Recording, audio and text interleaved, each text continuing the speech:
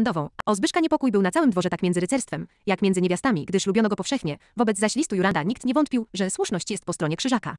Z drugiej strony wiedziano, że Rodgier jest jednym ze sławniejszych braci w zakonie. Giermek van Kryst rozpowiadał, może umyślnie, między mazowiecką szlachtą, że pan jego, nim został zbrojnym mnichem, zasiadał raz u stołu honorowego krzyżaków, do którego to stołu dopuszczano tylko słynnych w świecie rycerzy, takich, którzy odbyli wyprawę do Ziemi Świętej albo też walczyli zwycięsko przeciw olbrzymom smokom lub możnym czarnoksiężnikom.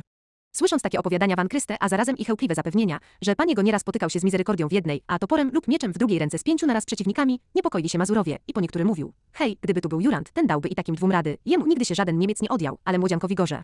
Gdyż tamten siłą, laty i ćwiczeniem góruje.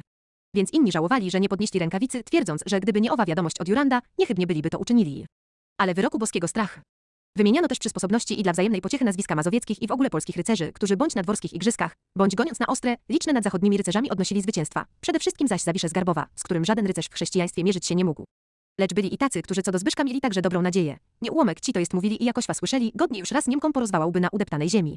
Lecz szczególnie skrzepiły się serca z powodu uczynku Giermka Zbyszkowego. Czecha Chiawy, który w wigilię spotkania, słysząc Van Krystę opowiadającego o niesłychanych zwycięstwach Rodgiera, a będąc młodzianem porywczym, chwycił tegoż Van Krystę za brodę, zadarł mu głowę i rzekł, jeśli ci nie wstyd ugać wobec ludzi, spójrz w górę, że to i Bóg cię słyszy. I trzymał go tak przez tyle czasu, ile trzeba na zmówienie ojcze nasz, zaś ów, wreszcie uwolnion, zaraz jął go wypytywać o ród i dowiedziawszy się, że pochodzi z Wtodyków, pozwał go także na taperii. Ucieszyli się tedy tym postępkiem Mazurowie i znów nie jeden mówił, już tacy nie będą chromać na boisku i byle po ich stronie była prawda a Bóg, nie wyniosą zdrowych gnatów te krzyżackie macie. Lecz właśnie Rodgier tak potrafił zasypać piaskiem oczy wszystkim, że wielu niepokoiło się o to, po której stronie prawda i sam książę podzielał ten niepokój. Więc wieczorem przed bitką wezwał Zbyszka na rozmowę, przy której obecną była tylko księżna i zapytał. Pewny żeś, że Bóg będzie z tobą. Skąd wiesz, że oni chycili Danuśkę? Żali Jurand mówił ci Ceo. Bo odwiedzisz tu jest list Jurandowy pismo księdza Kaleba, a jego pieczęć i w tym liście Jurand powiada, iż wie, że to nie krzyżacy. Co on ci mówił?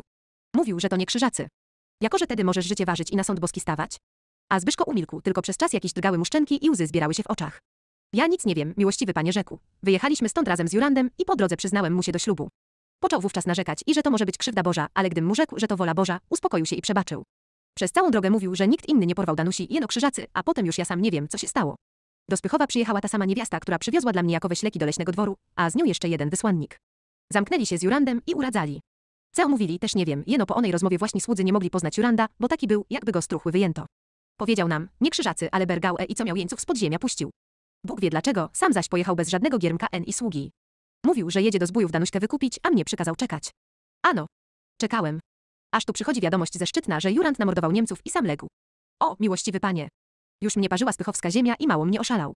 Ludzi wsadziłem na koń, by pomścić śmierć Jurandową, a tu ksiądz Kejle powiada. Kasztelu nie weźmiesz, a wojny nie wszczynaj. Jedź do księcia, może tam co o Danuśce wiedzą. Tom i przyjechał i właśnie trafiłem, jako ów pies szczekał o krzyżackiej krzywdzie i Jurandowym szaleństwie. JM, panie, podniósł jego rękawice, bom go już przedtem pozwał, a chociaż nie wiem nic, to jedno wiem tylko, że to ugarze są piekielni bez wstydu, bez czci i wiary. Patrzcie, miłościwi państwo. Toż oni zadźgali Forcyego, a na mojego giermka chcieli zwalić ten uczynek. Na Boga.